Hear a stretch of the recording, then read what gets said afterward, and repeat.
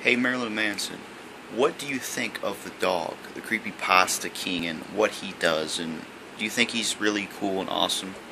I think he's funny and has a similar sense of humor, has a similar um, attitude towards society and people who take themselves too seriously. He likes to take jabs at some of the same types of people that I do.